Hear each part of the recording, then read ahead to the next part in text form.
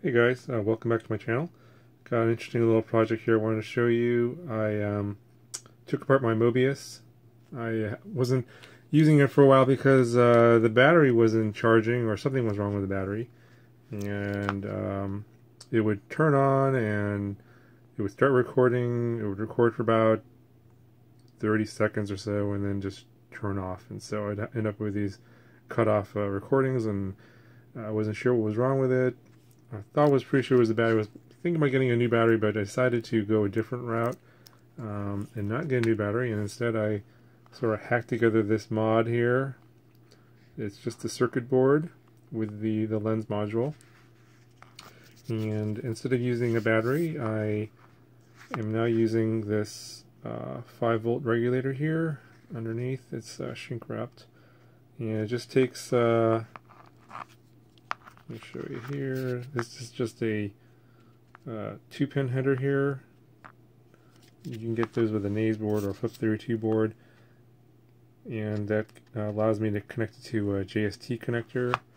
Uh, I can connect to a battery or some other type of adapter.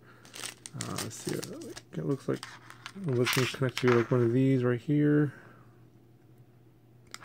So I can get a 3S or 4S or, or actually 2 to I'm not sure what this regulator voltage range is, probably 2 to 4S. Um, and then it'll put 5 volts into the Mobius here. And uh, what's really interesting about this is that this whole thing weighs only about 20 grams, so it's uh, I don't know less than half of what it was with the without any of this plastic stuff here, the case and the battery.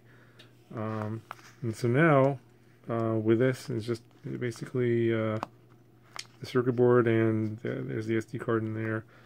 Um, it's just heat shrinked in this clear transparent heat shrink. And then I uh, added a, a, camera angle here with some hot glue and a piece of foam so that I, I can use this on my um, Airblade Assault or any sort of really small micro quad and add a minimal amount of weight and, and, and I can have some HD video recording. So I'll have some video that coming up in uh, later on my channel, so stay on the lookout for that. I can just uh, uh, connect this up to either a JST connector that's wired to the PDB, or um, I could uh, plug uh, into an adapter that plugs into the balance lead of my battery. So a couple different options there, but it's uh, really light and should work really well. So I'll be on the lookout for some videos for that, and I'll kind of bring those to you pretty soon. That's it for today. I'll talk to you guys later.